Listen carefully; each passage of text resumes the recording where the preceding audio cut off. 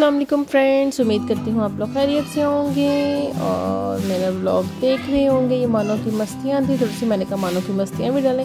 साथ ही जो है, मैं चटनी बना रही जो गर्मियों में बहुत खाई जाती है और काफ़ी अच्छी होती है हेल्थ के लिए। आप लोग जैसे इस चटनी के साथ, रोटी के साथ भी इसको खा सकते हैं। धनिया पुदीना जो है, मैंने थोड़ा थोड़ा लेके उसको धो लिया है। खीरा भी वॉश कर लिया और दो आलू वो रही हूँ टमाटो ले लिए हैं। और तीन जो थी, मैंने हरी मिर्चें ले ली थी, इनको अच्छी तरह मैंने वॉश करके प्लेट में रख दिया है। और टमाटो के जो है टू पीसेस कर लूँगी इसी तरह मैं कट करके। और काफ़ी मज़े की चटनी बनती है। और जो थी, खीरा जो था, इसके छिलके नहीं उतारने, इसकी साइड से जो कहते हैं जी, करवाहट के लिए मिक्सअप करके इसकी करवाहट के लिए वो निकाल दिया है। अब जो है, इसकी कटिंग कर लूँगी, बिल्कुल बारीक बारीक चॉप कर लेंगे। और काफ़ी मज़े का लगता है जब हम रोटी के साथ इसको खाएँ ना। मीन्स के भी, मुँह में आता भी है खीरा तो काफ़ी अच्छा लगता है इसको। इस तरह नॉर्मली इजीली कटिंग हम कर लेंगे और बड़ी इजीली कटिंग हो जाती है कटिंग बोर्ड में। और इसको जो है, इसी तरह हम कट कर लेंगे स्मूथली खीरा तो वैसे भी बहुत मज़े का होता है। वैसे भी खीरा, बच्चे तुम्हारे बहुत शौक से खीरा खाते हैं, इनको तो हम वैसे भी खीरा जल्दी खा लेते हैं। और इस तरह नॉर्मली छोटे छोटे क्यूब्स में कट कर लेंगे और जो है ये देखिए इस तरह, काफ़ी इजीली जो है ना ये कट हो जाता है, ये देखें। अब जो है इसको हम प्लेट में डाल लेंगे, जिसमें मैंने सर्विंग करनी है तो उसी के अंदर जो है मैं कट कर लूँगी। दूसरा जो खीरे का हाफ़ पीस है, इसको भी मैं कट कर लूँगी। अभी जो है जस्ट वीडियो बना रही थी इसलिए मैंने कहा सबसे पहले इसको कट कर लूँगी। और इसको बिल्कुल बारीक चॉप करना है कि मीन्स के इसकी जो मिर्चों में जो होता है ना, मिर्चों मिर्ची मिर्ची टाइप सी, वो नहीं फिर हमें लगेगी। बारीक कटी हुई होगी ना, जब हम खाएँगे तो का मीन्स के हमें लगेगी नहीं। छोटी मिर्च होती है, ये काफ़ी लगती है ग्रीन चिली लेकिन इसको कटिंग इस तरह बारीक बारीक कट कर लेंगे तो चटनी में हमें इतनी ज़्यादा थिक नहीं लगेंगी है और इनको भी ऐसे बारीक बारीक कट करके, और बाउल में जिसमें हमने मिक्सअप करना, उसमें डाल लेंगे, और धनिया जो था मैंने धो धो के रखा हुआ था, इसको भी बारीक बारीक चॉप कर लेंगे, और इजीली जो है, इतना ज़्यादा धनिया पुदीना भी डालना चाहिए इससे ये होता है कि करवाहट बन आ जाता है। और इस तरह नॉर्मली जो है थोड़ी थोड़ी सी चीज़ें डाल लें तो अच्छा लगता है। अब इसके जो पत्ते हैं, हम पुदीने के वो निकाल लेंगे। हम इसकी जो डंडी है वो नहीं यूज़ करेंगे, क्योंकि इसमें थोड़ा सा कड़वापन होता है और इनको जो है हमने ताज़ा ही यूज़ करना है, क्योंकि फ़्रेश फ्रेश होते हैं तो फिर चटनी भी काफ़ी फ़्रेश फ्रेश बन जाती है। और इसको भी बारीक बारीक कट कर लेंगे ताकि हमारी चटनी में डले तो काफ़ी मज़े का इसका फ्लेवर भी आए और टेस्ट भी आए। और देखें, इसको मैंने जल्दी जल्दी नॉर्मली जो है मैंने इसको चॉप कर लिया है। अब जो है हम बाउल में डाल लेंगे। साथ ही जो है मैं प्याज भी ले लूँगी। प्याज जो था स्टार्टिंग में बताना भूल गई और मुझे बाद में याद आया कि प्याज भी डालना था। तो ले जी, मैं प्याज भी चॉप कर लूँगी। बिल्कुल नॉर्मल जिस तरह हम ऑमलेट में डालते हैं, प्याज उस तरह नॉर्मली बारीक बारीक चॉप कर लेंगे और बहुत स्मूथली और इजीली ना कट हो जाता है ये। और ये देखें, और मीन्स से चटनी में जब हम इसको डालेंगे ना, वैसे प्याज हम ऐसे खाएँ तो मुँह से मीन्स की स्मेल से टाइप सी आती है, लेकिन ऐसा कुछ भी नहीं आएगा। इसको हाथ से मैश करके ताकि इसके जो मैंने छोटे छोटे पीसेस किए हैं, वो मिक्सअप हो जाए। और लें जी, अब जो मेन जो है हमारा चटनी का जो हमने बनाना है ग्रेवी उसकी, वो हमने जी ले लिए हैं थोड़े से लहसुन के चार जुए और और दो टमाटर ले इनको।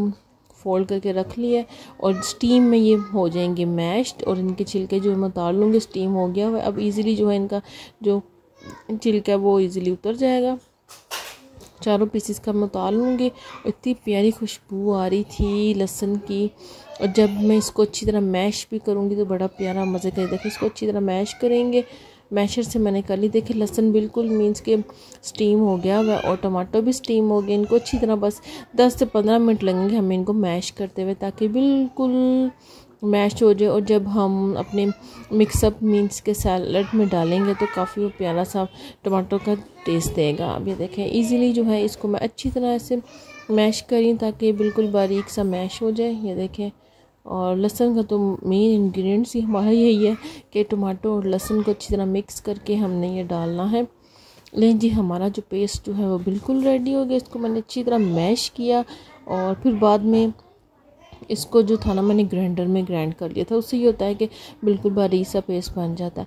अब जी, मैंने लिया है चाट मसाला, हल्दी ली है और लाल मिर्च और नमक, जस्ट फोर में मसाले डालूँगी और इसको मिक्स करूँगी और हमारी चटनी बिल्कुल रेडी हो जाएगी और हम इसको सर्व करेंगे छोटे बाउल में और ये देखें भी, इसको अच्छी तरह मैं मिक्सअप करूँगी। अगर आपको ज़्यादा तीखा पसंद है तो आप लाल मिर्चें और भी डाल सकते हैं। और चाट मसाला भी मैंने जस्ट बच्चे भी हमारे खाते हैं, हम भी खाते हैं तो इसीलिए मैंने कहा तो नॉर्मली से बनाऊँगी मैं, ताकि इजीली हम लोग सब मिल के ना खा लेंगे। और देखिए इसको अच्छी तरह हमने मिक्स कर देनी बहुत मज़े की बनी थी और सालन के साथ, चावलों के साथ इसको सर्व करें। इसको दाल चावल के साथ भी खा लें, वैसे सब्ज़ी बनी हो, सब्ज़ी के साथ भी खा लें, काफ़ी और दो दिन इसको स्टोर कर सकते हैं फ्रिज में, आप डबे में। एयर टैग जो है, डब्बे में डाल के रख दें और इजीली इसको हम स्टोर कर भी सकते हैं। इसको अच्छी तरह हमने मिक्स कर लेना क्योंकि जब हम टमाटो का पेस्ट इसमें डालेंगे, थोड़ा सा पानी भी छोड़ता है, प्याज भी पानी छोड़ता है तो वो मिक्सअप हो जाता है। कोई मीन्स के ऐसा टेस्ट नहीं आता कि मैंने तो इसको बना के रख लेती हूँ। तीन दिन जो है मैं इसको चला लेती हूँ और ईज़िली खाई भी जाती है। अगर आप इसको दही में डालना चाहिए दही में डाल के भी आप खा सकते हैं, वो भी अच्छा फ्लेवर आ जाता है। अब जी मैं छोटी प्लेट में डालूँगी, बाकी जो है मैं एयर टैक में डाल दूँगी, उससे ये हो जाएगा कि मैं जी जब जितना थोड़ा थोड़ा सा चाहिए, और ये बिल्कुल फ्रेश रहेंगे थ्री डेज़ में।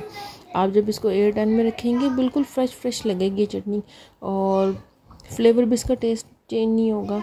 देखें शक्ल से भी कितनी खूबसूरत और मज़े की लग रही है।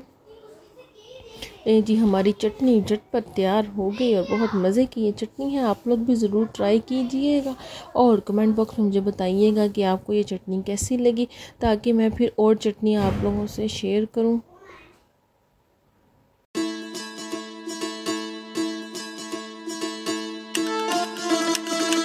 जी, अब हम थोड़ा सा बाहर निकले थे आउटिंग के लिए कि बच्चों को थोड़ा सा इंजॉय करवाया जाए। और वैसे भी ये होता है कि आजकल बच्चों को समर की छुट्टियाँ हुई हैं तो बच्चों को ना वीकेंड पे हम ज़रूर ले जाते हैं कुछ खिलाने पिलाने के लिए आइसक्रीम के लिए, ताकि बच्चे थोड़े से ना फ्रेश अप भी हो जाते हैं और बच्चे देखें कभी खुश हो रहे और अंदर रह के पढ़ पढ़ के स्टडी करके समर पैक का तो बच्चे काफ़ी परेशान हो जाते हैं। उम्मीद करती हूँ आपको मेरी वीडियो पसंद आई होगी। मेरे चैनल को लाइक और सब्सक्राइब ज़रूर कीजिएगा। बेल आइकन को भी क्लिक कीजिए। अल्लाह हाफिज़। Bye bye